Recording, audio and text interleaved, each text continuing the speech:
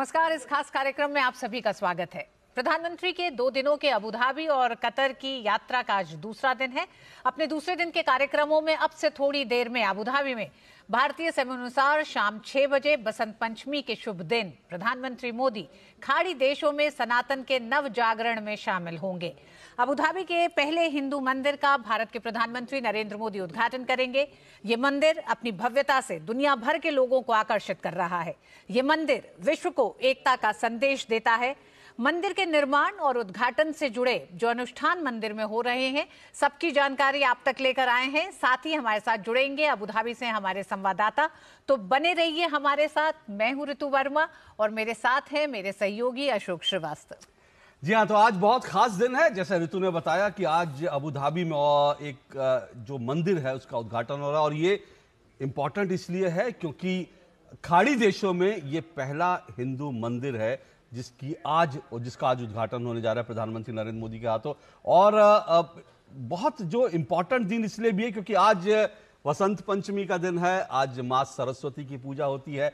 तो भारत के ज्ञान की जो है, आज पूरे दुनिया जो है पूजा कर रही है। भारत के ज्ञान का डंका पूरी दुनिया में बज रहा है और न सिर्फ़ भारत के ज्ञान का, बल्कि भारत की संस्कृति, भारत के संस्कार, भारत की परंपरा और भारत के आध्यात्म, भारत के धर्म का जो है, धर्म की ध्वजा इस वक्त पूरी दुनिया में फहर रही है और उसी का यह संकेत है। आज जो कार्यक्रम होगा, हम आपको सीधा प्रसारण वहाँ से दिखाएँगे। प्रधानमंत्री के आज भी कई कार्यक्रम जो हुए हैं, उस बारे में भी आपको तमाम बताएँगे। प्रधानमंत्री के आज के जो कार्यक्रम है, प्रधानमंत्री वर्ल्ड गवर्नमेंट समिट में आज शामिल हुए हैं। शेपिंग फ्यूचर गवर्नमेंट्स की थीम के तहत आयोजित वर्ल्ड गवर्नमेंट समिट में प्रधानमंत्री नरेंद्र मोदी ने आपसे कुछ देर पहले कहा कि आज विश्व को एक ऐसी सरकारों की ज़रूरत है जो स्वच्छ हो, पारदर्शी हो, करप्शन से दूर हो। आज विश्व को ऐसी सरकारों की ज़रूरत है जो पर्यावरण से जुड़ी चुनौतियों को लेकर गंभीर हों।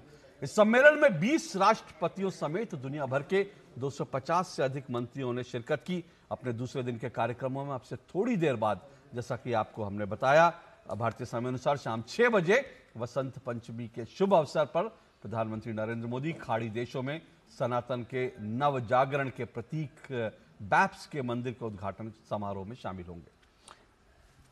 तो आइए शुरुआत करेंगे। आपको बताएँगे किस तरह से दूसरे दिन के कार्यक्रमों में भी प्रधानमंत्री के कार्यक्रमों में सबसे पहले क्या रहा? प्रधानमंत्री नरेंद्र मोदी ने विश्व सरकार शिखर सम्मेलन में मुख्य वक्ता के रूप में शामिल हुए। दुबई में आयोजित इस सम्मेलन में विश्व नेताओं ने हिस्सा लिया।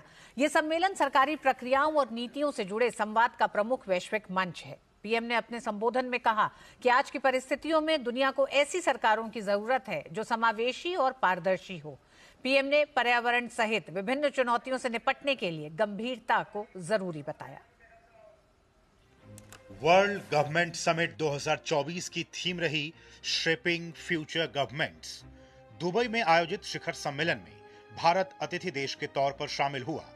प्रधानमंत्री नरेंद्र मोदी ने कहा कि 21वीं सदी के सामने खाद्य सुरक्षा, जल का संकट है तो आतंकवाद और जलवायु परिवर्तन जैसी चुनौतियाँ भी हैं।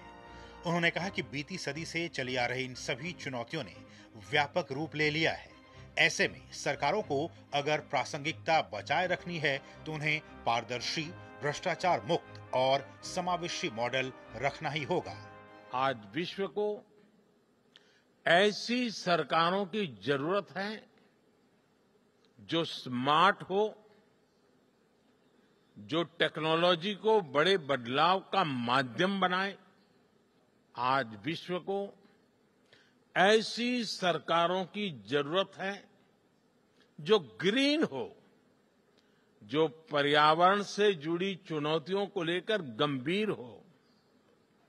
आज विश्व को आवश्यकता है ऐसी सरकारों की जो ease of living ease of justice ease of mobility, ease of innovation और ईज ऑफ़ डूइंग बिज़नेस को अपनी प्राथमिकता बनाकर चले। प्रधानमंत्री ने स्पष्ट तौर पर कहा कि दुनिया को साथ मिलकर काम करना ही होगा। उन्होंने कहा कि भारत का मंत्र है one earth one family one future G twenty की अध्यक्षता के दौरान भारत ने इसे मजबूती दी। प्रधानमंत्री ने वैश्विक संस्थाओं में सुधार और ग्लोबल साउथ के देशों के प्रतिनिधित्व को सुरक्षित करने पर भी ज़ोर दिया। हमें मिलकर कोहिजिव कोऑपरेटिव और कोलोबरेटिव वर्ल्ड की वैल्यूज़ को प्रमोट करना होगा। हमें डेवलपिंग वर्ल्ड के कंसर्न्स और ग्लोबल डिसीज़न मेकिंग में ग्लोबल साउथ की भागीदारी को प्रमोट करना होगा। हमें एआई आर्टिफिशियल इंटेलिजेंस और क्रिप्टो करेंसी साइबर क्राइम ऐसे पैदा हो रही चुनौतियों के लिए ग्लोबल प्रोटोकॉल बनाने होंगे। हमें अपनी नेशनल सॉवरेनिटी को प्राथमिकता देते हुए इंटरनेशनल लॉ की मर्यादा भी रखनी होगी। भविष्य में तकनीक व जन भागीदारी के प्रयासों को बढ़ावा देने और मिनिमम गवर्नमेंट मैक्सिमम गवर्नेंस की राह पर चलने का आह्वान किया। प्रधानमंत्री ने बताया कि कैसे भारत में बीते 10 साल के दौरान हर क्षेत्र में ट्रांसफॉर्मेशन हुआ है और लोगों का विश्वास सरकार पर बढ़ा है। कोविड के बाद दुनिया भर में सरकारों पर भरोसा कम हुआ है। लेकिन भारत में हमने एकदम विपरीत अनुभव देखा। बीते वर्षों में भारत सरकार पर देश के लोगों का भरोसा और मज़बूत हुआ है। लोगों को हमारी सरकार के इंटेंट और कमिटमेंट दोनों पर पूरा भरोसा है। ये कैसे हुआ? क्योंकि हमने गवर्नेंस में जन भावनाओं को प्राथमिकता दी है। प्रधानमंत्री ने भारत के स्टार्टअप फिनटेक और डिजिटल सफलताओं का उदाहरण देकर दुनिया से इसे अपनाने की अपील की। उन्होंने बताया कि कैसे योजनाओं के शत प्रतिशत क्रियान्वयन से भारत में 25 करोड़ लोग बीते 10 साल के दौरान गरीबी रेखा से बाहर आए हैं। जब सरकार लोगों के दरवाजे तक पहुँच रही है, तब भ्रष्टाचार की गुंजाइश कम हुई है। उन्होंने ये भी कहा कि बीते 23 साल से वे सरकार के प्रमुख के तौर पर गुजरात और अब केंद्र में काम कर रहे हैं, लेकिन इस दौरान उनकी कोशिश है कि आम लोगों के जीवन में सरकार का दखल कम से कम हो। दिव्येंदु मंडल और अरुण शर्मा के साथ ब्यूरो रिपोर्ट, डीडी न्यूज़। तो विश्व शिखर सम्मेलन में प्रधानमंत्री नरेंद्र मोदी ने एक तरफ़ पारदर्शिता की बात की, करप्शन फ्री की बात करी साथ साथ उन्होंने ये भी कहा कि आम लोगों की ज़िंदगी में सरकार का हस्तक्षेप कम से कम हो, इसका वो प्रयास कर रहे हैं। यानी मिनिमम जो है वो गवर्नमेंट और मैक्सिमम गवर्नेंस की जो प्रधानमंत्री कहते हैं, उसकी उन्होंने बात की। प्रधानमंत्री नरेंद्र मोदी ने संयुक्त अरब अमीरात के उपराष्ट्रपति से भी आज मुलाकात की। प्रधानमंत्री नरेंद्र मोदी और यूएई के उपराष्ट्रपति शेख मोहम्मद बिन राशिद अल मखतूम की बैठक में अहम मुद्दों पर विचार विमर्श किया गया। दोनों नेताओं ने व्यापार और निवेश, प्रौद्योगिकी शिक्षा और लोगों से, लोगों के संबंधों, यानी पीपल टू पीपल कॉन्टैक्ट सहित द्विपक्षीय सहयोग को बढ़ाने पर बातचीत की।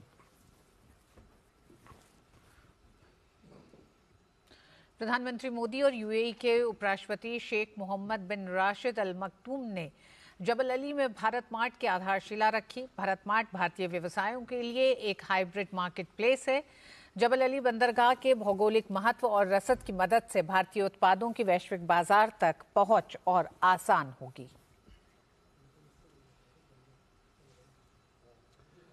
और प्रधानमंत्री नरेंद्र मोदी ने मेडागास्कर के राष्ट्रपति एंड्री रोजाएलिना से मुलाकात की। दुबई में हुई इस वार्ता में द्विपक्षीय संबंधों को और मज़बूत करने पर चर्चा हुई है।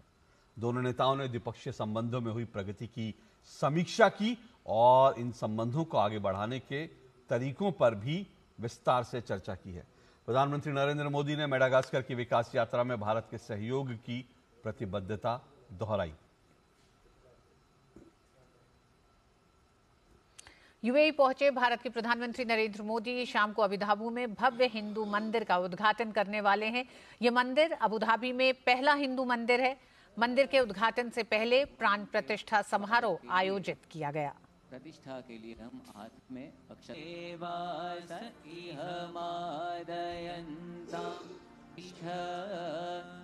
प्रतिष्ठा सर्वदेवानां सिद्ध्यर्थ संकल्पः शत ओम ओम ओम। अब हाथ जोड़कर हम प्रार्थना करेंगे। अधिरूढ़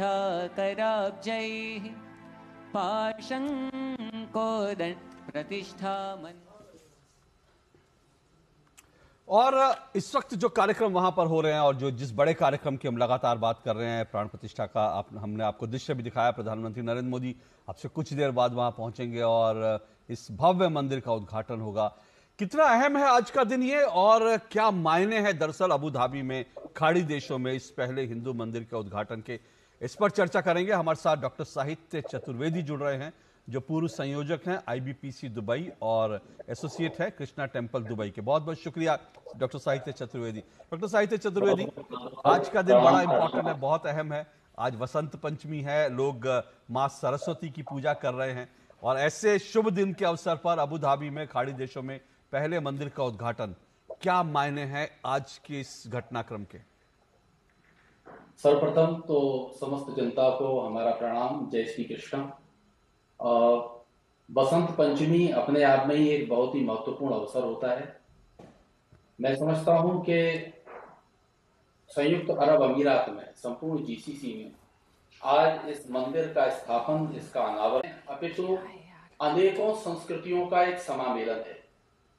आज यहाँ जनता में जो उत्साह है, केवल सांस्कृतिक, धार्मिक या अपने मिलन मिलन की ही बात नहीं है, अपितु भारतीय होने का एक गौरव आज समस्त भारतवासी यहाँ अनुभव कर रहे हैं।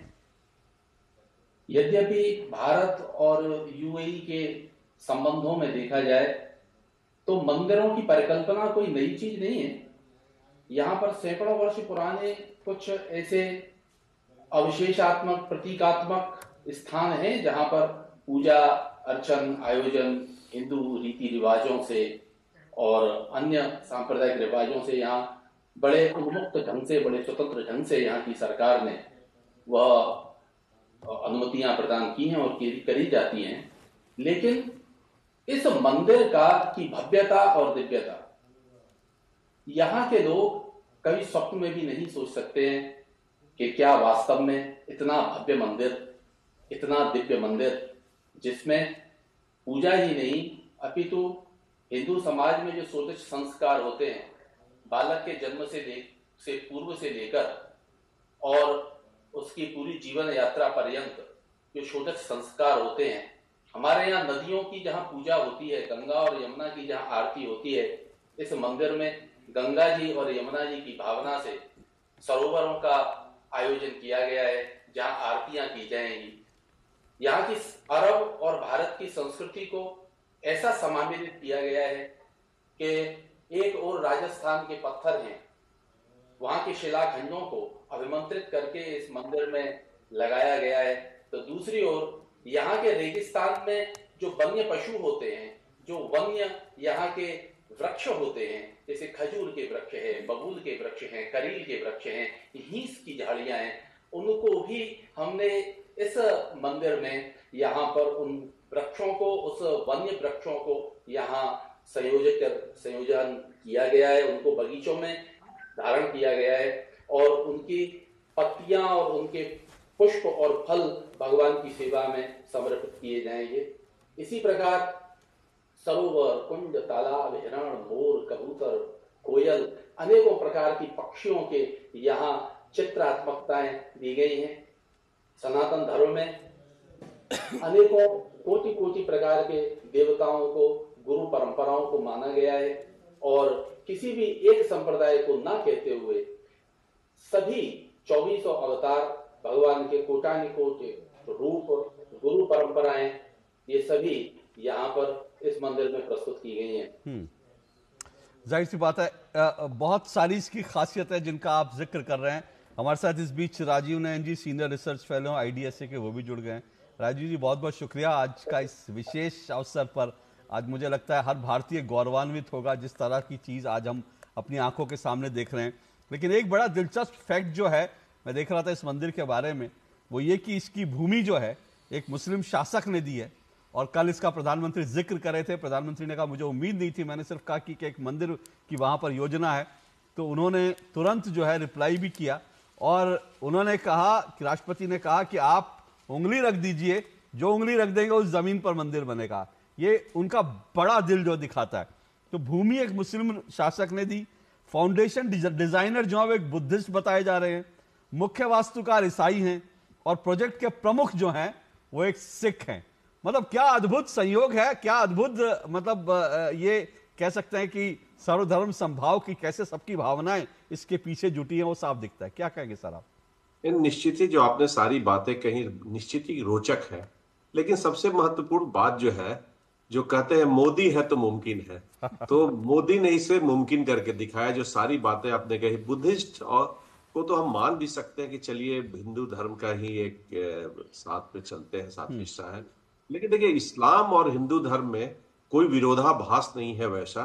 यह भी इस मंदिर निर्माण प्राण प्रतिष्ठा स्थापित कर देगी कि देखिए, हम सबको, सब मिल के चलते, जैसे उनका भी अपना एक डिपार्टमेंट, मिनिस्ट्री ऑफ़ टॉलरेंस है तो हमारी तो संस्कृति में ही सहिष्णुता लिखी हुई है। तो हमने, हमारी संस्कृति से तो कहीं भी भिन्न है नहीं।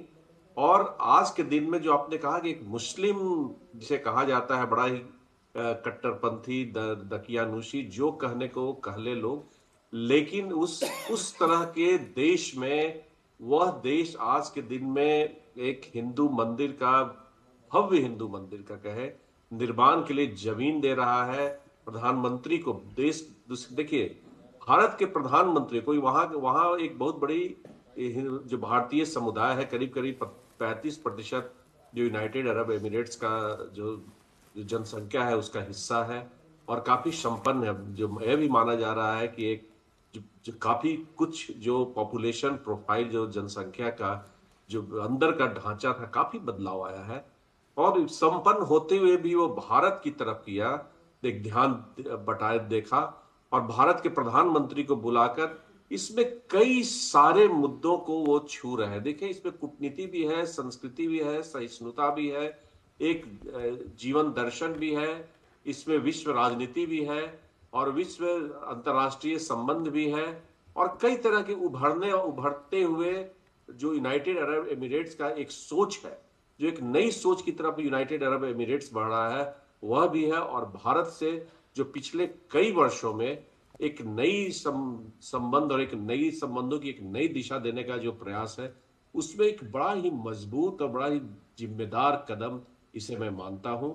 और एक, देखिए, आने वाले समय में केवल भारत और यूनाइटेड अरब एमिरेट्स में ही नहीं, पूरी दुनिया भर में यह संदेश देगा कि देखिए, दो संस्कृतियाँ कहें, दो धर्म कहें विभिन्न धर्म, आपने तो कई बात बोले, लेकिन मूलतः दो धर्मों का ही ये कितना अच्छा समागम हो सकता है। और सबसे मज़ेदार चीज़ है कि जब हम बात कर रहे हैं कि एशियन सदी है एशिया की सदी है और सारे के सारे विश्व के धर्म जो है, एशिया से ही निकले हैं। चाहे वह क्रिश्चियनिटी हो, चाहे वह इस्लाम हो, चाहे वह यहूदी धर्म हो, हिंदू धर्म हो, चीन का भी जो कुछ धर्म आप कह लें, और वह एशिया आपस में मिलकर कदम बढ़ाने के दिशा में किस तरह से तत्पर है, किस तरह से कृत संकल्प है यह मंदिर का निर्माण जी राजीव जी राजीव जी आपने दो बातें कही एक विश्व राजनीति की बात की और आपने बदलते हुए यूएई की भी बात की। इनको देखते हुए हम देखते हैं इंडियन डायस्पोरा पूरे विश्व में है और जहाँ जहाँ है वहाँ वहाँ मंदिर और इस तरह के मंदिर अगर हम इस तरह के मंदिर की ना भी बात करें तो मंदिरों का निर्माण हुआ है पूजा पाठ होता रहा है। लेकिन यूएई में अबुधाबी में इस मंदिर के निर्माण के साथ जिस विश्व राजनीति की तरफ़ आप इशारा कर रहे हैं, वो क्या कहती है, क्या संकेत बड़े दे रही है भारत और यूएई की नजदीकी को दिखाते हुए? देखिए, यूनाइटेड अरब एमिरेट्स और सऊदी अरब। सऊदी अरब तो एक समय जिसे कहा जाता था कि पूरे दुनिया भर में जिहाद फैला रहा है। वह देश, ये सारे देश कितने कितना परिवर्तन हुआ है, इसका ये एक संदेश भी कहिए या इसका एक इंडिकेटर कहिए, इसका सूचनांक, सूचकांक भी आप इसे कह सकते हैं। और देखिए वह वह देश जिसे कभी लोग प्रताड़ित करता था, वह आज के दिन वह कैसा कदम उठा सकता है? और सबसे महत्वपूर्ण बात है जो संस्कृति की जटिलताएँ हैं, जो दुखद बात है कि पाश्चात्य जगत नहीं समझ पाई, वह पुनः आज के दिन में जो एशियाई देश हैं चाहे हमारे पड़ोसी राष्ट्र हैं और हमारी जो सभ्यताएँ हैं वो किस तरह से सम, एक दूसरे को समझ रही हैं और उस दिशा में कदम उठा रही हैं।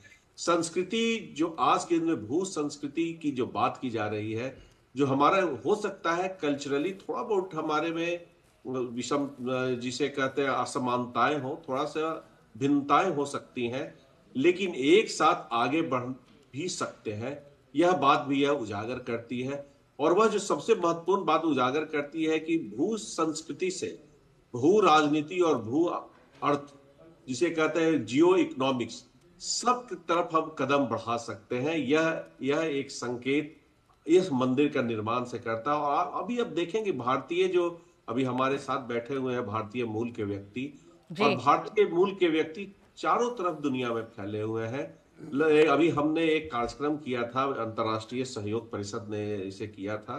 उसमें एक टाइटल ही था the sun never sets on the Indian diaspora जो कभी ब्रिटिश एम्पायर के बारे में कहा जाता था वह आज के बारे में इंडियन डायस्पोरा के बारे में कहा जा रहा है।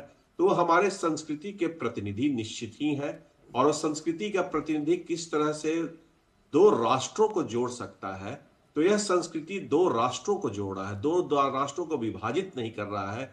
यह एक बहुत मूल मंत्र से और एक बड़ा संदेश विश्व को दे रहा है कि देखिए धर्म केवल बांटता ही नहीं है धर्म लोगों को जोड़ता भी है।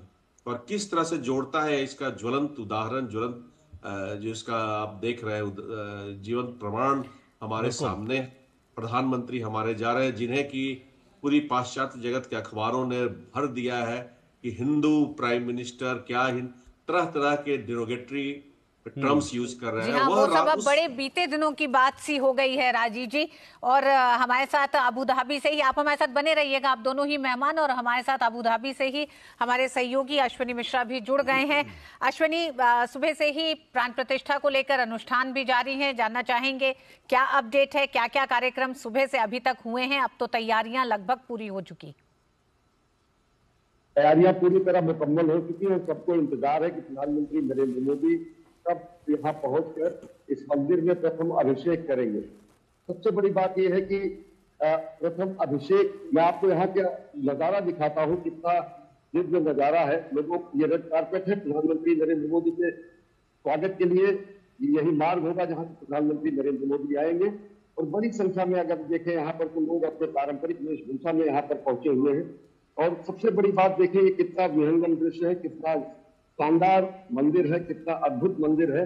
और ये मंदिर कहीं ना कहीं भारतीय सनातन संस्कृति के धर्म ध्वजा को इस रेगिस्तान में मरुद्यान शरीफा स्वरूप देते हुए लहरा रहा है, जो भारत की विजय पताका है। सांस्कृतिक उत्कर्ष जो हो रहा है, उसकी भी कहीं ना कहीं गांधी प्रस्तुत करता है। ये मंदिर कहीं ना कहीं भारत और दोनों के संबंधों को सांस्कृतिक संबंधों को बेहद नया आयाम देगा जो भारत की सहिष्णुतावादी, शांतिपूर्ण सांस्कृति की भावना है, उसी का ये ध्वज आप देखें कहीं ना कहीं यहाँ पर लहरा रहा है। और सबसे बड़ी बात यह है कि शांतिपूर्ण सांस्कृतिक समन्वय, प्रेम, क्षमा सौहार्द यही हमारे सनातन मूल्य है।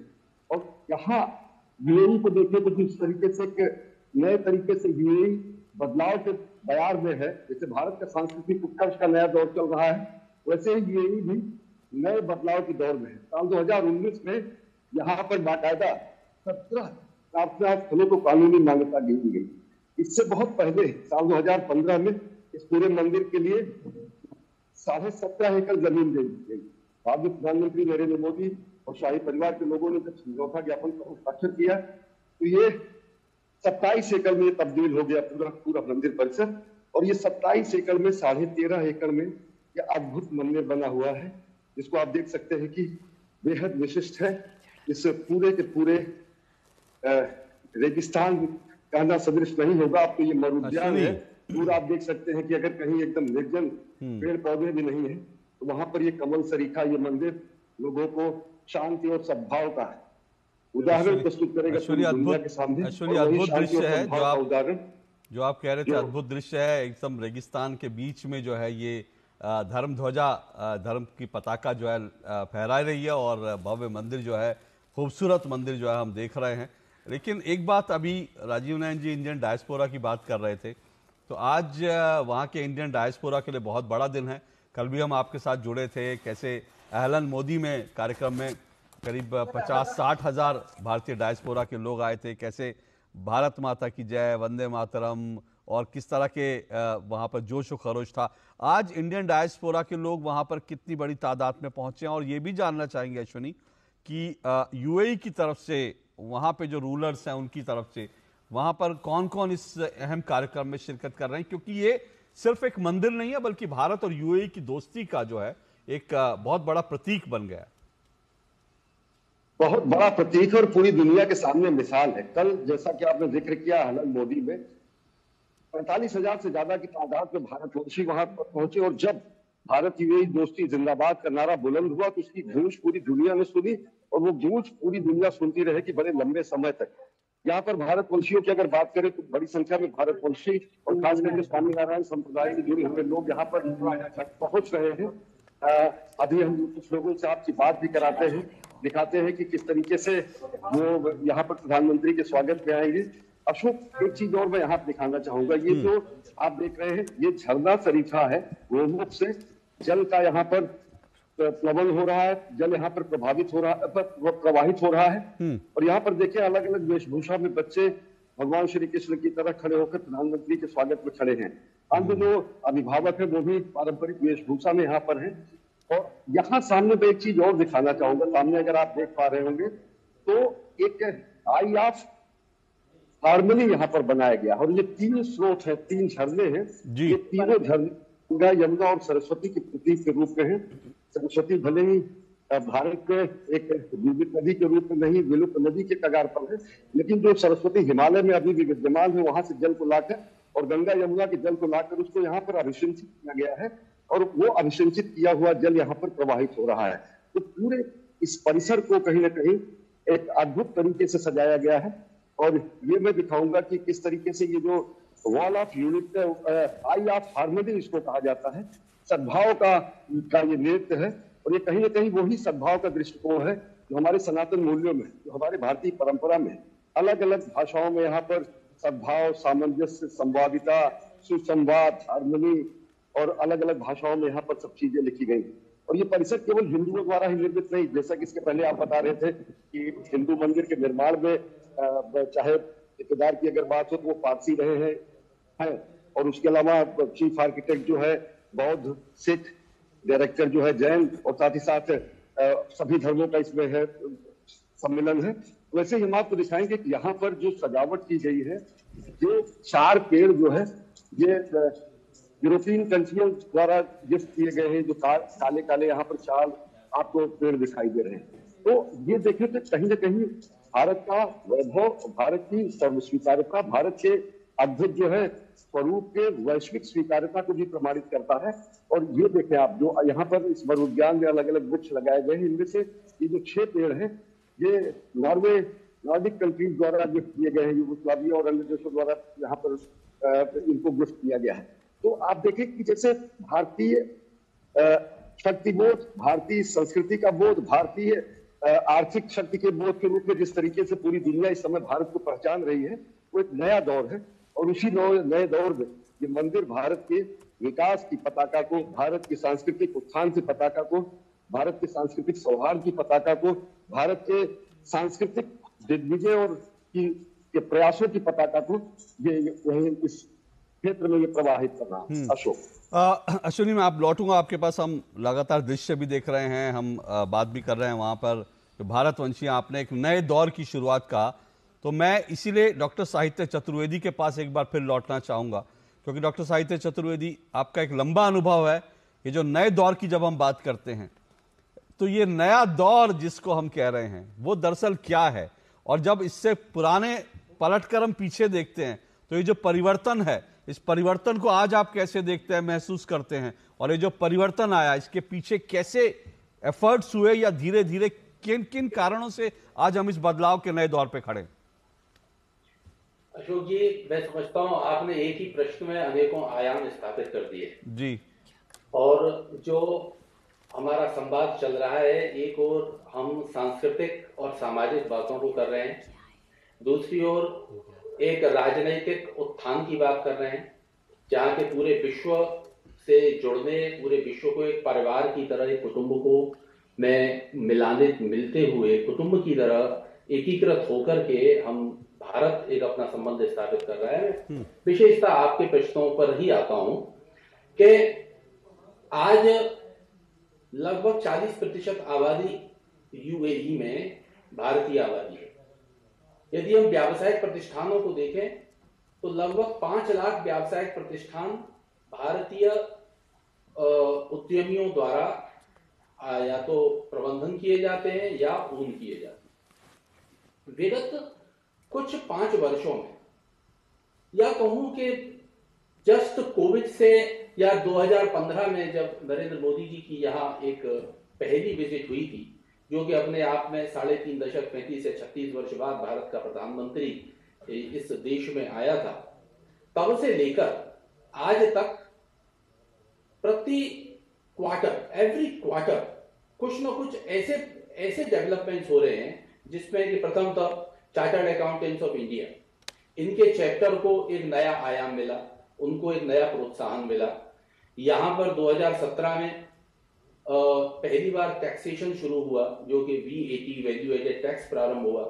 2017 में उसकी प्रिपरेशन हुई 1 जनवरी 2018 से उसकी शुरुआत हुई, जो कि इनिशियली ये समझा गया कि टैक्सेशन इस कंट्री में आएगा तो बड़े कॉम्प्लिकेशंस पैदा हो जाएँगे।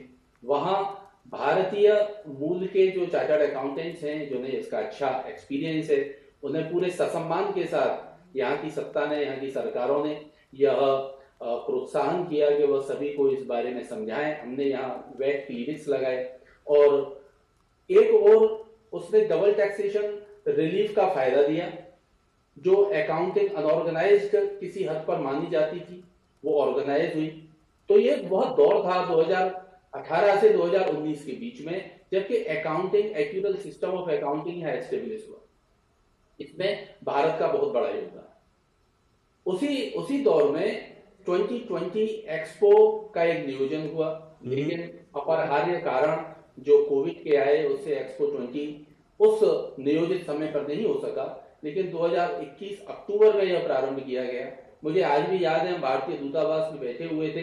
फरवरी 2021 की बात थी। पूरी दुनिया में लॉकडाउन था खास करके इंडिया यूएई में केवल वंदे भारत मिशन की फ्लाइट्स कार्गो फ्लाइट्स ही चल रही थी। और यहाँ की गवर्नमेंट ने यह निर्देश दिया कि हमें एक्सपो ट्वेंटी फ़र्स्ट अक्टूबर से शुरू करना है।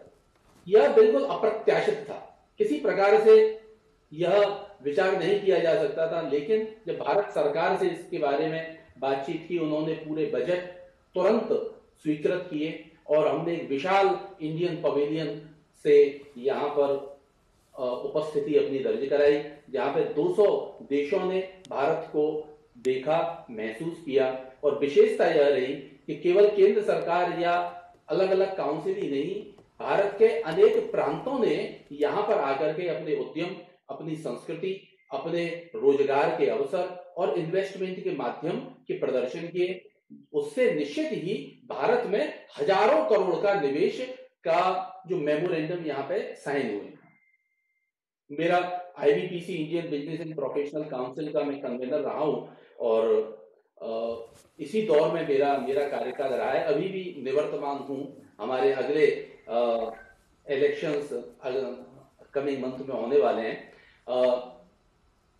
विशेषता मैं यह कहना चाह रहा हूँ कि जो परिवर्तन की आपने एक आंधी चली है 2015 के बाद में 2017 और 18 में जब यहाँ पहली बार टैक्सेशन हुआ तो वैधानिकता में भारत का प्रधान प्रतिनिधित्व हुआ।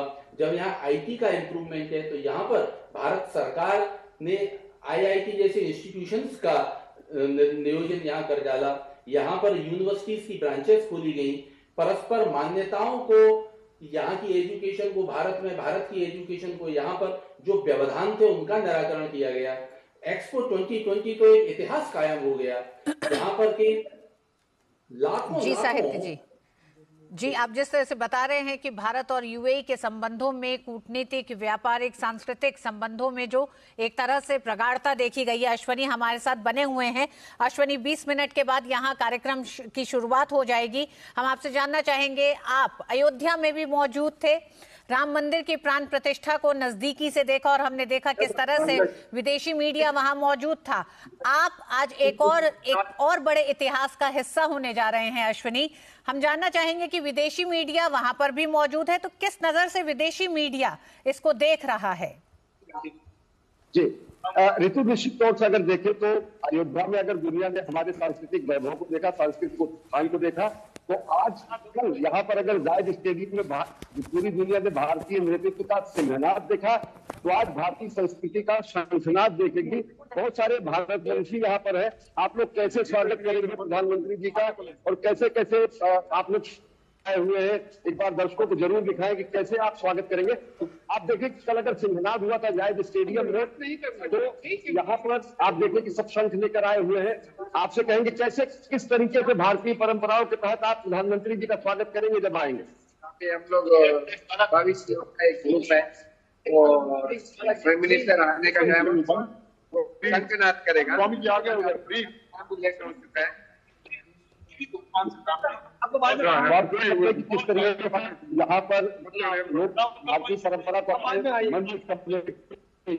यहाँ परिवेश प्रधान अपने धारण किए हुए यहाँ पर पहुँचे हुए हैं और सबसे बड़ी बात है कि प्रधानमंत्री जी आने का समय थोड़ा सा नज़दीक है लिहाजा थोड़े बहुत रिस्ट्रिक्शन से नहीं हम इन लोगों से और ज़्यादा बात करा पाते अयोध्या की आप बात कर रही थी ऋतु तो अगर अयोध्या में दुनिया ने देखा कि किस तरीके से हम अपनी सांस्कृतिक गरिमा की पुनर्स्थापना कर सकते हैं तो यहाँ पर आज पूरी दुनिया देखेगी कि हम किस तरीके से सांस्कृतिक दिग्विजय के लिए एक नई शुरुआत कर सकते हैं।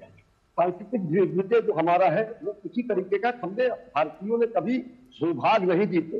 भूभाग नहीं शत शत मानव पे हृदय जीतने का निश्चय, यही हमारी परंपरा रही है।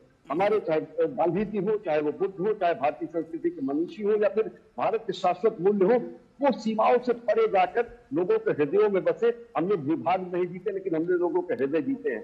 तो आज इस हृदय स्थल में अगर देखें तो मध्य पूर्व के, पश्चिम एशिया के हृदय स्थल में अगर कहें तो यूएई में संयुक्त अरब अमीरात है। जो ये कमल सदृश मरुद्यान में ये नया संस्कृति का प्रतीक का लोकार्पण विश्वार्पण होने जा रहा है।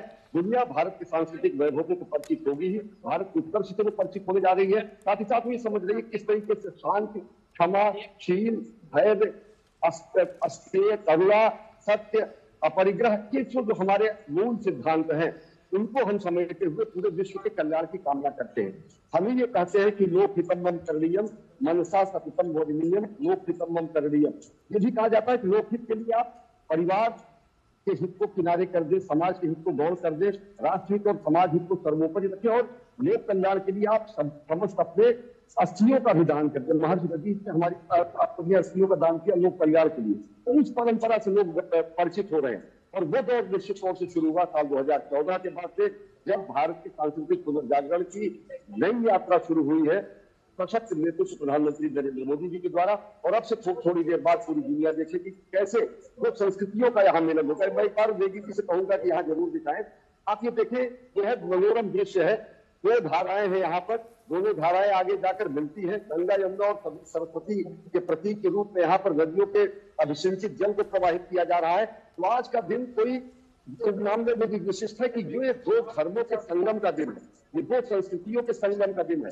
ये दो मान्यताओं के मिलन का दिन है। और वो संस्कृतियाँ, वो धर्म और वो मान्यताएँ केवल और केवल यही कहती हैं कि हम लोग कल्याण करें। लोक कल्याण के लिए विश्व कल्याण के लिए वही आह्वान कल प्रधानमंत्री नरेंद्र मोदी ने कहा कि दोनों देशों के आपसी संबंध पूरी दुनिया के लिए एक शांतिपूर्ण सहस्तित्व के लिए शांति स्थापना के लिए जो भी चीज़ें आवश्यक है दोनों देश मिलकर कंधे से कंधा मिलाकर उसको करने के लिए तत्पर है और उद्देश्यों को दिया गया संदेश है। कल अगर रणनीतिक तरीके से, कल अगर जो है वैश्विक कूटनीति के तरीके से संदेश दिया गया तो सांस्कृतिक और धार्मिक और आध्यात्मिक तरीके से भारत के उद्घोष को पूरी दुनिया सुनेगी, जब प्रधानमंत्री नरेंद्र मोदी यहाँ पर विश्वार्पण करेंगे और वही हमारी मूल भावना है जो हम वसुधैव कुटुंबकम की बात करते हैं शांतिपूर्ण साहसिक की बात करते हैं। अश्विनी कौन कौन आ, मैं ये ये जानना चाह रहे हैं कि आ, कौन कौन प्रमुख लोग जो हैं खास करके यूएई की तरफ़ से कौन कौन आ, जो वहाँ की सरकार है वहाँ के जो किंग है रूलर हैं उनके कौन कौन प्रतिनिधि जो हैं इस कार्यक्रम में शामिल होने जा रहे हैं? इसके बारे में कुछ डिटेल जो अब तक बताया गया? आधिकारिक रूप से पाना अभी मुश्किल है, लेकिन ये निश्चित तौर से आप मान के चले कि कल प्रधानमंत्री जी के साथ यहाँ के जो सहिष्णुता मंत्री है, कांग्रेस मिनिस्टर है राष्ट्रपति जायद अल नायान राष्ट्रपति मोहम्मद बिन जायद अल नायान के भाई है वो मौजूद थे आहलन मोदी कार्यक्रम में। सांस्कृतिक सहिष्णुता मंत्री के रूप में उन्होंने इस, जब मंदिर के स्वामी जी महान स्वामी जी महाराज जब आए थे तो हवाई अड्डे पर उन्होंने स्वागत किया था। हवाई अड्डे पर स्वागत करने के साथ साथ अगर देखें तो अल अयाम तरीका यहाँ का कोई पारंपरिक शैली है, जिससे अरबी शैली से लोगों के अपने अतिथियों का स्वागत किया जाता है उस तरीके से सांस्कृतिक, और वो स्वागत केवल यहाँ के राष्ट्रीय ध्वजों पर किया जाता है। जब यहाँ के जो नेशनल डेज़ है, उस पर किया जाता है, वैसा शरीफा उन्होंने सांस्कृतिक स्वागत किया। सहिष्णुता और संस्कृति मंत्री यहाँ पर। ये अपेक्षा की जा रही है कि संस्कृति और सहिष्णुता मंत्री के साथ ही साथ होंगे। भारतीय और अंतर्राष्ट्रीय भी, दूतावासों के बहुत सारे दूतों की भी अपेक्षा है यहाँ पर होगी कि और बड़ी संख्या में अंतर्राष्ट्रीय नीति और अन्य गणमान्य व्यक्ति बड़ी संख्या में भारत भारतवंशी और अन्य इस पूरे क्षेत्र के अगर देखें तो भारतीय और यूएई के संबंधों में योगदान देने वाले महत्वपूर्ण व्यक्ति होंगे। हम हम हम लगातार मैं आ, आ, आप रुकिएगा मैं डॉक्टर साहित्य के पास जा रहा हूँ एक बार फिर से क्योंकि हम अभी ऋतु ने एक इंटरनेशनल मीडिया की बात करी कि वहाँ कैसे लेकिन हम भारत का पक्ष को समझ रहे हैं वहाँ की सरकार जो है उसका पक्ष भी समझ रहे हैं लेकिन स्थानीय जो लोग हैं उनका इस पूरे लेकर क्या नज़रिया है? डॉक्टर साहित्य हम चाहेंगे अगर इस पर स्थानीय जो निवासी हैं वहाँ के वो इस इस डेवलपमेंट को कैसे ले रहे हैं? और अगर स्थानीय मीडिया की मैं बात करूँ कि वहाँ का लोकल मीडिया जो है वो कैसे रिस्पॉन्ड कर रहा है इन खबरों पर? अभी राजीव जी ने कुछ और मीडिया की बात करी जिनके पेटों में जिनके पेट में बड़ा दर्द भी होता है ऐसी घटनाओं पर लेकिन वहाँ जो लोकल मीडिया है वो कैसे रिस्पॉन्ड कर रहा है इसको? स्थानीय लोग क्या कह रहे हैं? मीडियम मीडियम टिप्पणी करना मेरे लिए बड़ा कठिन हो जाएगा। हाँ हाँ। लेकिन जो हम मीडिया यहाँ की देख रहे हैं क्योंकि यहाँ पर जनरली इंग्लिश मीडिया को ही हम लोग फॉलो कर उसमें बड़ी उन्मुक्तता से और बड़ा स्वागतपूर्ण उनका व्यवहार यहाँ पर देखने में आया है। और क्यों ना हो, क्योंकि जब, जैसे आपने शुरुआत में कहा था कि मोदी जी ने भी उस पर इशारा किया था कि जब मंदिर के लिए ज़मीन मांगी गई तो ये कह दिया गया कि भाई, इस स्थान पर आप जितना चाहें उतनी ज़मीन रख लें। इसके पीछे कई परिप्रेक्ष्य भी रहे हैं और शुरू से शिलान्यास से लेकर के आज तक शिखर के आरो ध्वजा के आरोहण तक, या शिलान्यास से शिखर तक, जितने भी आयाम इस मंदिर के फाउंडेशन के रहे हैं, उसमें सभी में यहाँ की सरकार का सहयोग और उसमें प्रेजेंस रही है, जो टॉलरेंस मिनिस्ट्री है यहाँ की।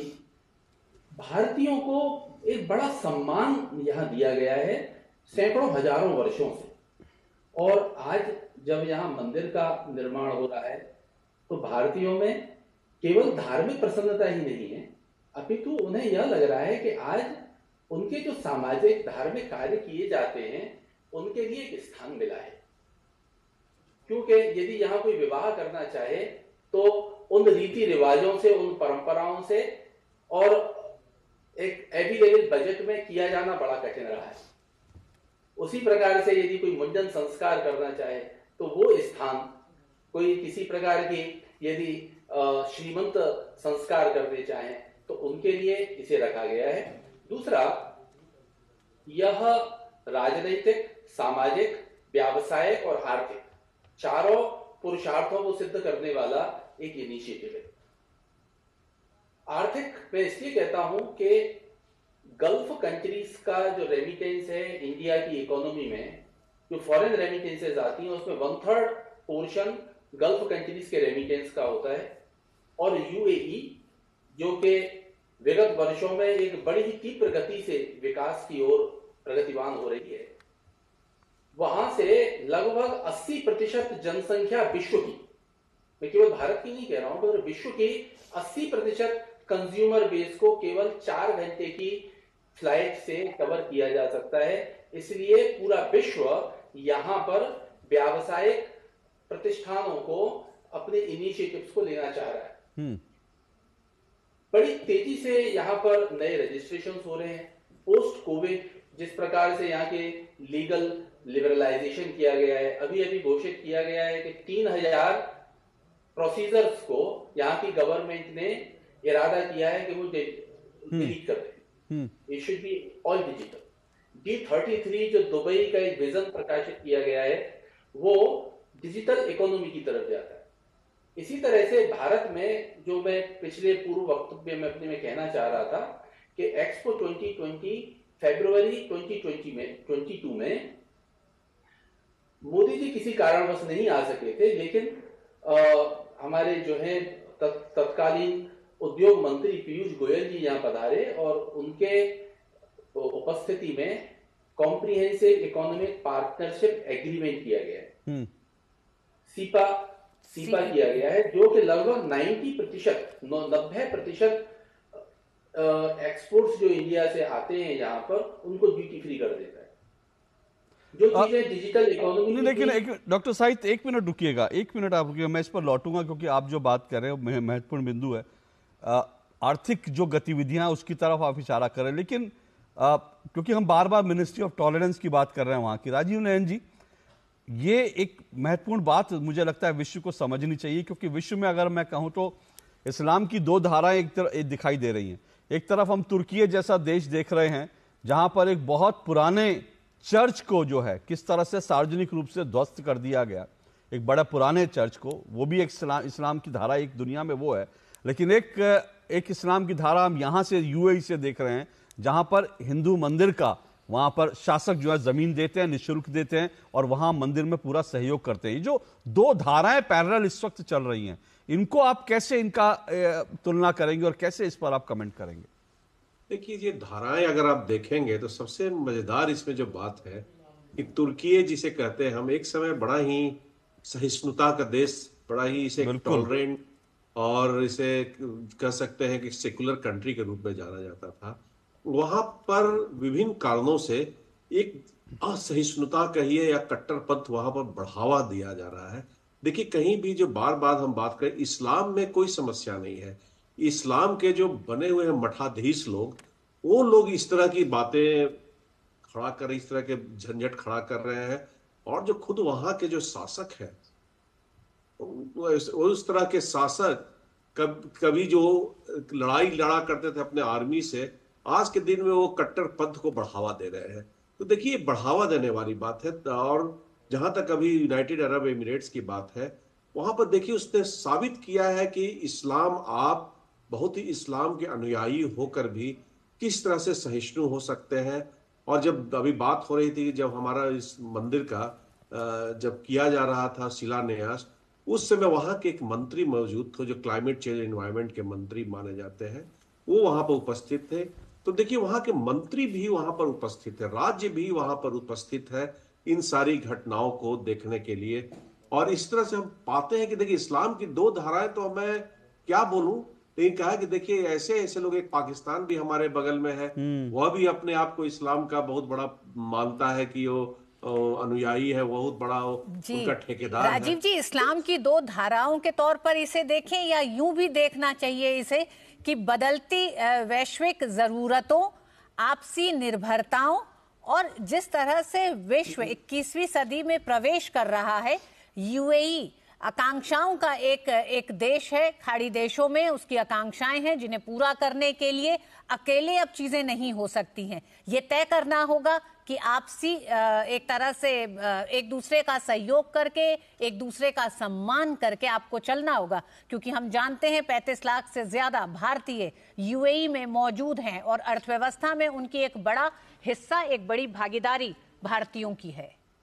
निश्चित देखिए, यही नहीं, जो भारत अपनी एक पहचान बना रहा है और अपनी सांस्कृतिक, एक सांस्कृतिक पहचान को किसी भी धर्म से टकराव की तरह नहीं देख रहा है हम्म। वह इसका भी परिचय है कि देखिए हम इस वहाँ पर एक सबसे जिसे कहा जाता था कट्टरपंथी इस्लामिक देश में वहाँ के शासक के साथ मिलकर एक मंदिर इतना भव्य मंदिर जो कि एक सांस्कृतिक गत, सांस्कृतिक गतिविधियों का केंद्र रहेगा और भारत यह भी दिखाएगा आने वाले समय में और वहाँ के लोग दिखाएँगे कि मंदिर जो होता है मंदिर किस तरह से एक सामुदायिक गतिविधियों का भी केंद्र रहता है हम्म। और वहाँ से आप पूरे वहाँ के लोगों के बारे के, के जन कल्याण जब शुरुआत में ही आपने बात की थी मानव कल्याण जन कल्याण विश्व कल्याण सबकी एक एक सोच वहाँ पर परिचय होगा वहाँ पर भारतीय संस्कृति का परिचय तो होगा ही होगा भारतीय दर्शन का भी परिचय होगा भारतीय सोच का परिचय होगा और इस पूरे भू क्षेत्र में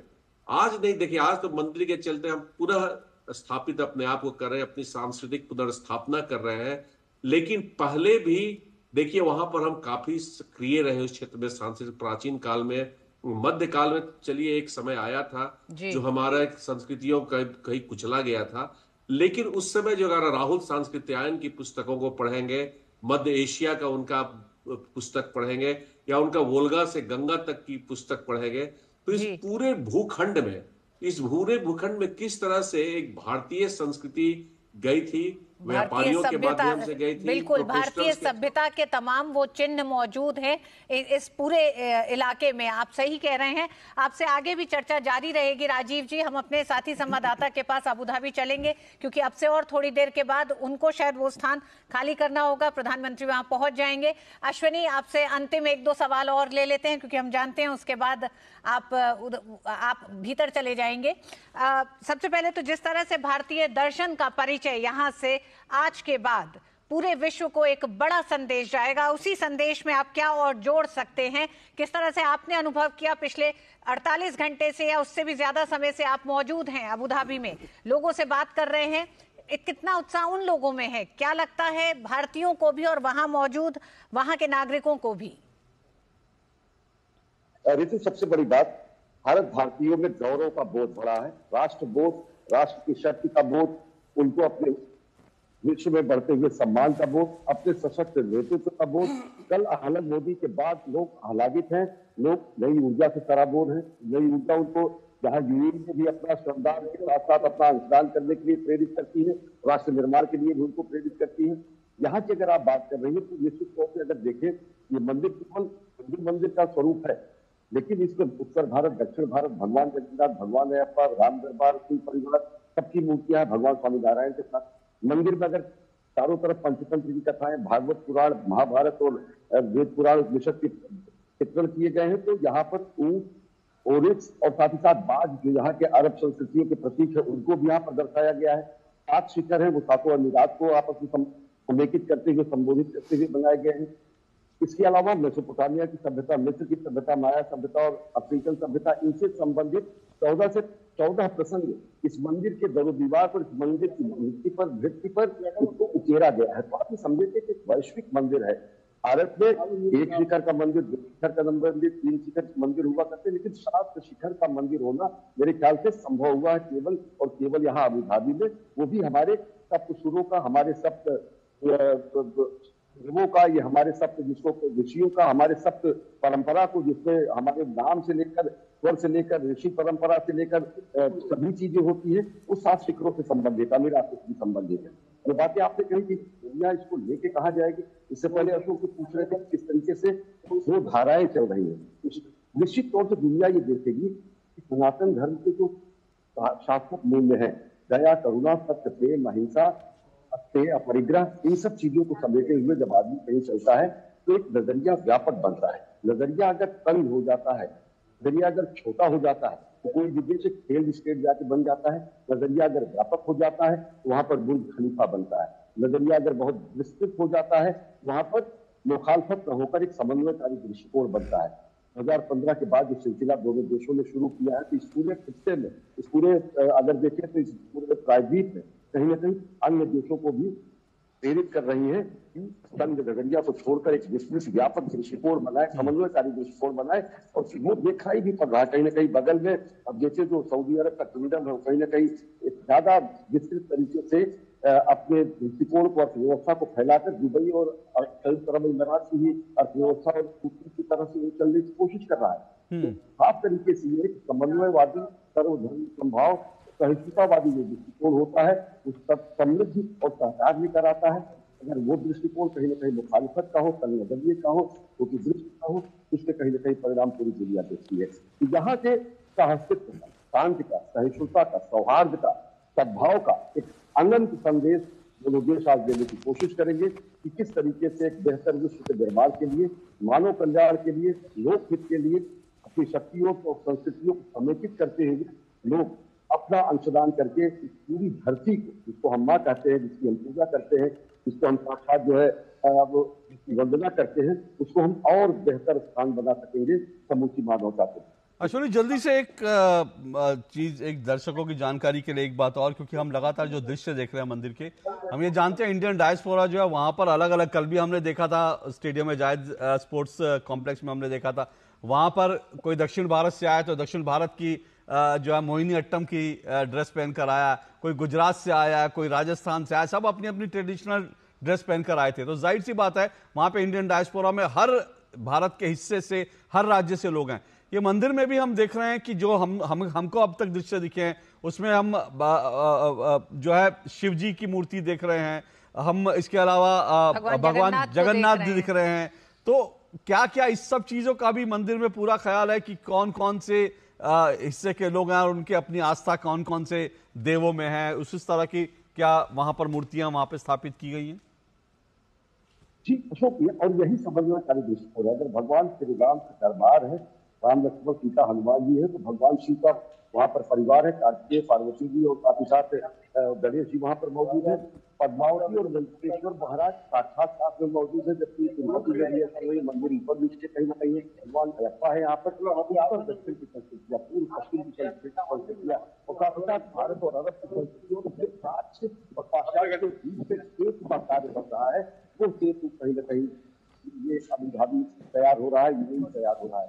फिर मैं संस्कृति की बात कर रहा हूँ। इस बार मैं लोगों को दिखाऊँगा किस तरीके से यहाँ पर अलग अलग वेशभूषा में यहाँ पर आए हैं। किसी के हाथ में शंख है, किसी के पगड़ी लगाए हुए हैं। सब अभी प्रधानमंत्री नरेंद्र मोदी और महान स्वामी जी जब आएँगे तो स्वागत करेंगे। तो यह केवल शंखनाद ही नहीं होगा।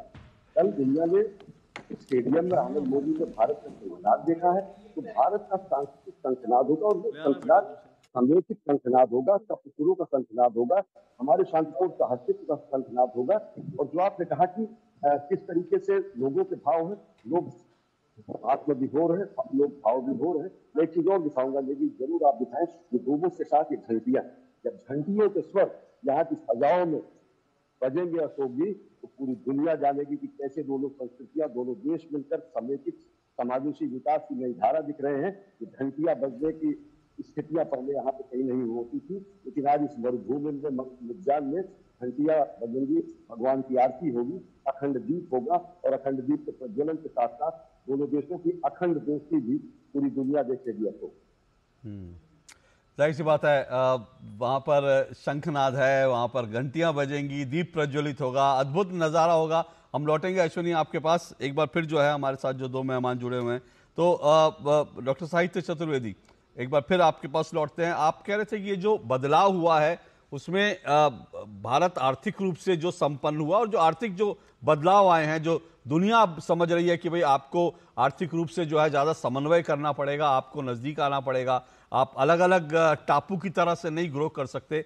विश्व पूरा एक एक, अ, ए, ए, ए, एक है। आप जब मिलेंगे तो एक होंगे। भारत की राजनीतिक जो बदलाव भारत में हुआ राजनीतिक स्थायित्व जो भारत में आया और भारत में जो आर्थिक स्थायित्व आया क्या ये एक बड़े फैक्टर रहे कि दोनों देश और ज़्यादा नज़दीक आए? क्योंकि हम सब जानते हैं हम लगातार बात कर रहे हैं कि प्रधानमंत्री नरेंद्र मोदी करीब साढ़े तीन दशक के बाद पह, पहली बार ऐसा हुआ साढ़े तीन दशक के बाद भारत के प्रधानमंत्री वहाँ जाते हैं। आर्थिक राजनीतिक स्थिरता के साथ ही अ, हम आपसे ये भी साहित्य जी जानना चाहेंगे कि क्या भारत ने भी अपनी विदेश नीति में भी कुछ बड़े बदलाव किए हैं? क्या भावी चुनौतियों को देखते हुए कुछ नए समाधानों के साथ, कई देशों के साथ उन्होंने रिश्तों को बेहतर भी किया और नए विकल्प भी सुझाए? में एक ही धारा के दो किनारे हैं। तो पहले अशोक जी, जैसे आपने कहा कि मैं समझता हूँ कि यह केवल एक भारतीय स्थिरता की बात नहीं है, एक विश्व स्तर पर जो आर्थिक बदलाव आ रहे हैं, उसमें जो दोनों ही देश, एक तरफ़ से यूनाइटेड अरब एमिरेट जो कि पूरे गल्फ रीजन को मिडिल ईस्ट रीजन का एक रिप्रेजेंटेटिव है, एक हब है, पूरे विश्व में यहाँ से एक एक्सपोर्ट डेस्टिनेशन माना जाता है। अभी वहाँ पर मेडिकल टूरिज़्म एजुकेशन और केवल ट्रेडिंग ही नहीं, बल्कि उद्योग और व्यापार दोनों पर ही बहुत विकास की चर्चाएँ और प्रयास किए जा रहे हैं। दूसरी ओर, भारत में जो एक राजनीतिक अस्थिरताएँ थी या एक विचलनताएँ थी, उनमें जो एक विश्वास विश्व स्तर से बढ़ करके आया है और जो भारत सरकार ने और यूएई सरकार ने दोनों ने ही परस्पर दो दो कदम बढ़ाए हैं और वह दोनों कदम संधियों के रूप में विकसित हुए हैं और इस दौर में अनेकों एग्रीमेंट्स एमओयूज इसमें साइन हुए, किए गए हैं, जिसका एकीकृत रूप यदि हम देखें तो वो CEPA comprehensive economic trade partnership act है, जिसमें कि पार्टनरशिप नाम दिया गया है। कोई मेमोरेंडम ऑफ़ अंडरस्टैंडिंग नहीं कही गई है। पार्टनरशिप एग्रीमेंट है, जो कि विकास की धारा में साझेदारी है। चाहे वो यूएई की तरफ़ से एक्सपोर्ट ऑफ़ गुड्स या सर्विसेज़ हो, या दूसरी ओर से केवल भारत में ही नहीं अपने तो विश्व स्तर पर, क्योंकि यूएई एक सेंट्रल पॉइंट है। यहाँ से जुड़े हुए जितने भी कारोबार हैं, उन सभी पर इसका एक व्यापक एक असर पड़ेगा और दोनों ही देशों में एक आर्थिक विकास की एक धारा यहाँ जुड़ती है।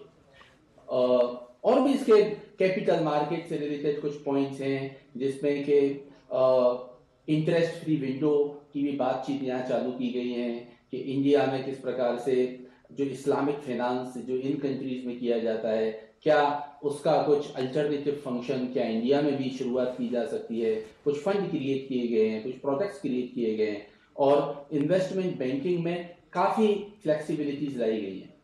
साहित्य जी तेल आधारित अर्थव्यवस्था यूएई की रही है और हम देखते हैं कि ऊर्जा को लेकर और तेल के उत्पादन को लेकर कई ऐसे विकल्प आज की तारीख में विश्व के सामने हैं। क्या ऐसे में यूएई के लिए भारत एक मुफीद मतलब एक सुटेबल फ्रेंड के तौर पर सामने आया, जिसने तेल से इतर कई ऐसे क्षेत्रों में विकास के साथ ही साथ साझेदारी, सहभागिता को भी आगे बढ़ाया यूएई के साथ। मैं इसके उत्तर में केवल एक सेंटेंस कहूँगा कि भारत केवल साझेदार के रूप में नहीं, बल्कि एक निकट संबंधी के रूप में आया है, जो कि जहाँ पर कि सबसे ज़्यादा कंजम्पशन है, और यूएई से जो फाइंड जो रिफाइंड जिस प्रकार का जो ऑयल सप्लाई किया जाता है भारतीय उद्योगों ने भी यहाँ पर निवेश किया है और उनमें भी एक नई नए डेवलपमेंट्स आए हैं। और ऑयल बेस्ड इकोनॉमी तो यहाँ की है ही है लेकिन भारत को ध्यान में रखते हुए जो भारत मार्ट का आज जो उद्घाटन हुआ है उस पर हमें विशेष तौर पर चर्चा करनी चाहिए क्योंकि ये एक बड़ा एक दूरगामी विचार था।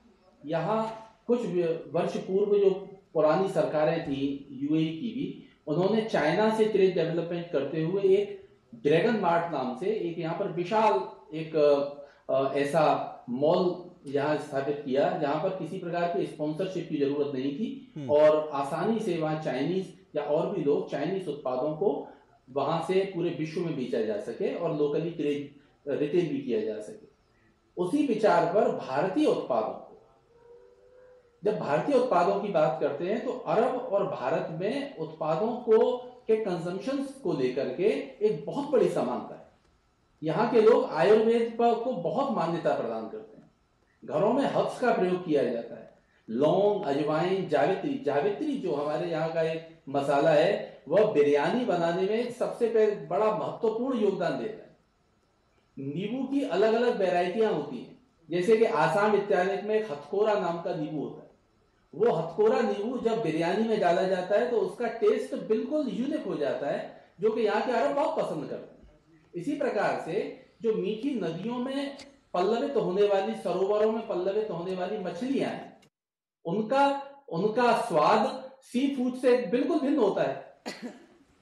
तो यद्यपि यह एक वेज नॉनवेज वाली बात ही नहीं है अपितु तो उत्पादों की बात करें तो जो आर्टिफैक्ट्स होते जो कि अनेकों शाखाओं से निर्मित फर्नीचर होते हैं, जो इत्र है।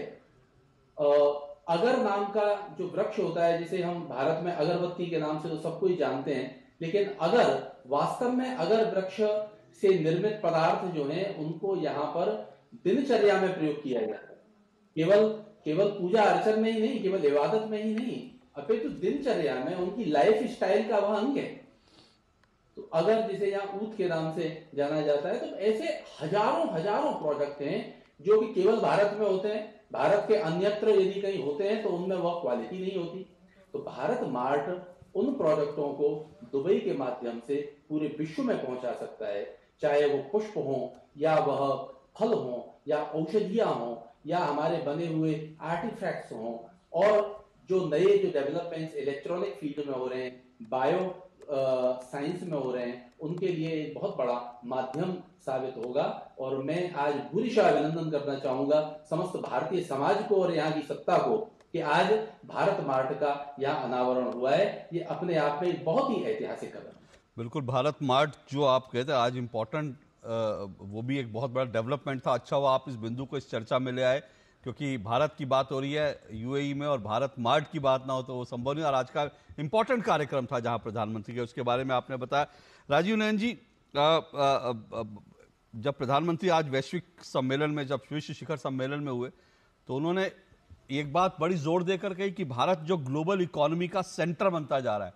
कल भी उन्होंने एक बात ये कही थी कि भाई मेरे तीसरे टर्म में भारत तीसरी सबसे बड़ी इकोनॉमी होगा। तो इशारा, फोकस बड़ा साफ़ है कि भारत जो है, ग्लोबल इकोनॉमी का सेंटर है और अब भारत के साथ व्यापारिक रिश्ते मज़बूत करना सबकी ज़रूरत है, सबके लिए विन विन सिचुएशन है ये। निश्चित देखिए महाराज जैसा आपने कहा कि तीसरी बड़ी अर्थव्यवस्था बनने जा रही है और तीसरी जब अर्थव्यवस्था, बड़ी अर्थव्यवस्था बनती है तो जो इससे जुड़ेगा, उसे फ़ायदा होगा, उसे लाभ होगा। जो नहीं जुड़ेगा, जो अपने तरह तरह के बाधाएँ उत्पन्न करेगा, उसे नुकसान ही होगा। तो देखिए, इस इस पूरे दौरे की जो जो विशेषता रही है और जो विशेषता होगी, वह होगी, देखिए, कोई भी जो आयाम जीवन का है, वह एक दूसरे से अलग नहीं है। अर्थ है, अर्थ ज़रूरी है। हम, हमारे यहाँ जो बात होती है, अर्थ, काम, मोक्ष, सारी चीज़ें एक साथ मिलकर चलती है। एक एक जो इंटेग्रल ह्यूमनिज्म की हम बात करते हैं वो पूरा का पूरा इस दर्शन का परिचय प्रधानमंत्री ने दिया है।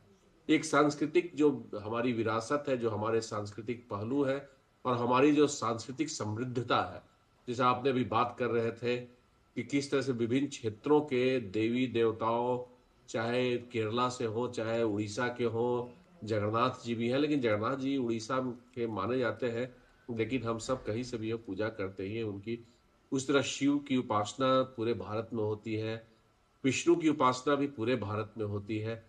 तो पूरी जो हमारी समृद्धता है, उसका उन्होंने वहाँ पर परिचय, यहाँ पर हमारे मंदिर के माध्यम से दिया जा रहा है। प्रधानमंत्री जी की उपस्थिति इस समृद्धता को एक एक नया आयाम दे रही है, एक नई ऊंचाई दे रही है।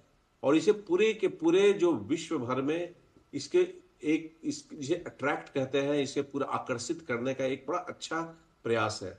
अभी उन्होंने जिस तरह से एक समुद्र के किनारे बैठकर एक एक नई एक झलकी दी थी अपनी हमारी जो कई तरह की विरासतें हैं हमारे पर्यटन की भी विरासत है उसकी उसी तरह से अभी ये जो जी ट्वेंटी का अभी समारोह हुआ था हमारा उसमें आप पाएँगे डिक्लेरेशन में चाहे बाकी भी जब तैयारियाँ हुई थी संस्कृति और आर्थिक इन दोनों में कहीं भी दुर, जो दुनिया नहीं है उनमें एक एक संबंध है और इस तरह से, जिस तरह से हमारी संस्कृति को भी एक एक इकोनॉमिकली देखा जाना चाहिए, उसे होना चाहिए, वह एक निश्चित ही एक परिचय यहाँ पर आने वाले समय में मिलेगा।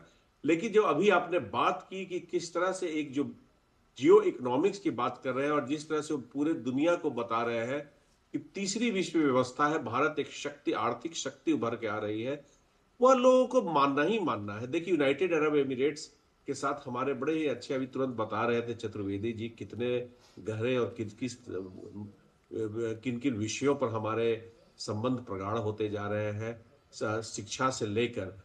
वहाँ हमारे भारत का सबसे चौथा, सबसे महत्वपूर्ण इन्वेस्टमेंट का वो जो बनने जा रहा है डेस्टिनेशन वहाँ से धन आएँगे। जिस धन से हमारा कई क्षेत्रों का विकास होगा और उससे वापस उन्हें फ़ायदा होगा। देखिए पेट्रोलियम प्रोडक्ट्स आता है भारत में वहाँ से लेकिन हम भी पेट्रोलियम प्रोडक्ट्स वापस उन्हें भेजते हैं। उसी तरह से जो रॉ मटेरियल्स कई सारे ज्वेलरीज के आते हैं अच्छे हमारे यहाँ कार्य करके वापस उनके यहाँ जाते हैं। फ़ूड प्रोडक्ट्स हम उन्हें दे रहे हैं। तो एक तरह से बड़ा ही एक इंटरडिपेंडेंस का एक दूसरे पर हम काफ़ी आस, वहाँ उन, उनके ऊपर एक दूसरे पर आश्रित होते जो जा रहे हैं। और वह एक वही एक नई छवि एक नई दिशा होगी संस्कृत हमारे अर्थव्यवस्था की, दोनों की अर्थव्यवस्था की, कि हम आज साथ मिलकर काम करें एक विन विन सिचुएशन दोनों के लिए लाभकारी होगा। और ये प्रधानमंत्री जी बोल रहे हैं बार बार बता रहे हैं। और देखिए, अब ये प्रधानमंत्री जब मैं एक उदाहरण बताया करता हूँ, जो हमें हमें सिखाया गया था कि 20वीं सदी के उत्तरार्ध में, पूर्व, शुरू के दिनों में जब रविंद्रनाथ टैगोर गए थे जापान में तो वहाँ के छात्रों ने उनकी बातों को नहीं सुना था। भले ही हमारी बौद्धिक परंपरा से लेकर सांस्कृतिक परंपरा बहुत समृद्ध थी लेकिन उन्होंने ध्यान नहीं दिया। कहा कि एक जो राष्ट्र औपनिवेशिक कब्जे में है वो हमें क्या सिखाएगा? आज का राष्ट्र जो आज का भारत है वो आर्थिक रूप से संपन्न है सांस्कृतिक रूप से बौद्धिक रूप से संपन्न तो वो पहले से ही था। आर्थिक रूप से संपन्न राष्ट्र जब अपनी संस्कृति लेकर विश्व में जाएगा तो निश्चित ही विश्व को उसकी उसके ऊपर ध्यान देना होगा। और हमारे जो प्रधानमंत्री हैं इन सबको बड़े ही सम्मिश्रित बहुत ही सुंदर तरीके से ला रहे हैं। सांस्कृतिक अवसर है एक माहौल है लेकिन साथ साथ अर्थ की भी बात हो रही है बाकी भू राजनीति की भी बात हो रही है। और भू राजनीति में जैसे अभी थोड़ी देर पहले आपका शायद आ रहा था कि किस तरह से आई टू यू टू में भारत और यूनाइटेड अरब एमिरेट्स और इजराइल और अमेरिका सब साथ मिलकर काम कर रहे हैं। अब उसमें फ्रांस भी एक दूसरे इसी तरह के इंडिया यूनाइटेड अरब एमिरेट्स और फ्रांस का भी एक उसी तरह का एक समूह बन गया है। उसमें भी हम दोनों मिलकर साथ काम कर रहे हैं। अभी जो जी ट्वेंटी के समय जो उद्घाटन हुआ था इंडिया यूरोप और मिडिल ईस्ट का जो एक एक ये कही कनेक्टिविटी कहिए कॉरिडोर कहिए जो कह सकते हैं उसमें भी हमारे साथ यूनाइटेड अरब एमिरेट्स मिलकर काम कर रहा है।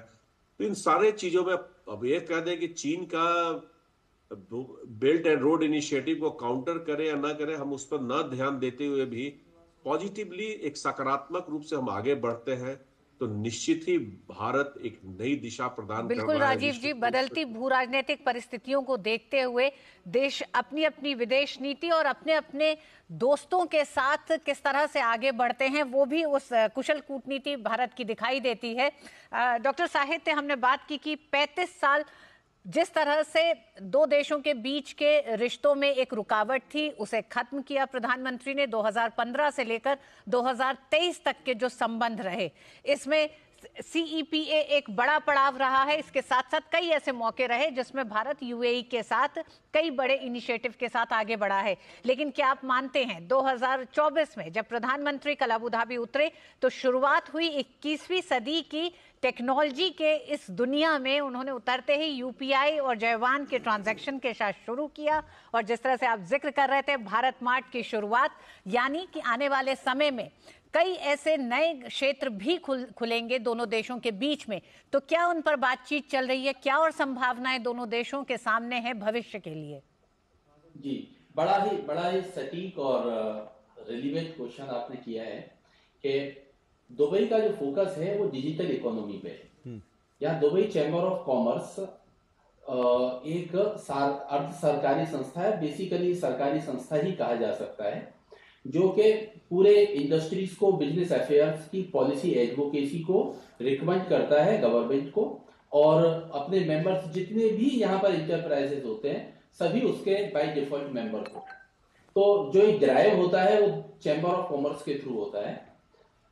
उसमें डिजिटल इकोनॉमी को फोकस करके डिफरेंट चैम्बर का यहाँ पर आगाज़ किया गया है। क्योंकि fintech technology one of the largest agenda है दुबई 33 डी 33 एजेंडा के तहत। उसी में जो सीपा एग्रीमेंट किया गया है, उसमें 2030 में वन ट्रिलियन यूएस डॉलर्स के एक्सपोर्ट इंपोर्ट का एक टारगेट भारत ने रखा है यूएई के प्रति।